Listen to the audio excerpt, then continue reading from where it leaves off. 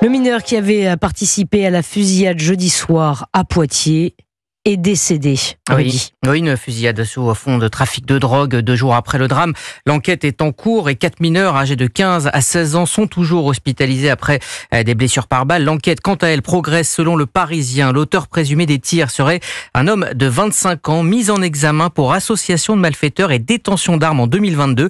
Euh, Stéphane Place, vous êtes le correspondant permanent euh, européen dans le sud-ouest. C'est le procureur de la Vienne qui a confirmé ce matin le décès donc de l'un de ces jeunes.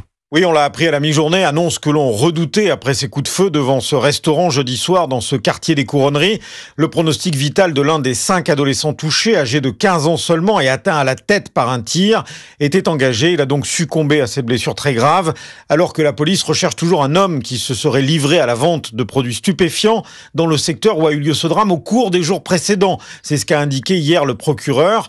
Le magistrat a également expliqué qu'une perquisition a été réalisée dans un logement qu'il aurait occupé et où ont été retrouvées sept munitions du même calibre que les 11 douilles récupérées par les enquêteurs sur les lieux de la fusillade. Dans ce logement, les policiers ont aussi mis la main sur des éléments partiels d'une arme démontée. Poitiers, une ville qui a dû intensifier la lutte contre le trafic de drogue ces dernières années, reconnaît le préfet de la Vienne, Jean-Marie Girier. On constate plusieurs éléments ces dernières années. D'abord, des nouveaux produits qui arrivent, beaucoup plus de cocaïne ici, beaucoup plus d'héroïne qu'on ne voyait pas nécessairement avant. Et puis des volumes beaucoup plus importants. Entre 2021 et 2023, la police nationale a multiplié par 7 le nombre de saisies à Poitiers. Poitiers qui, ce soir, reste sous une surveillance renforcée avec des effectifs supplémentaires de CRS dès hier.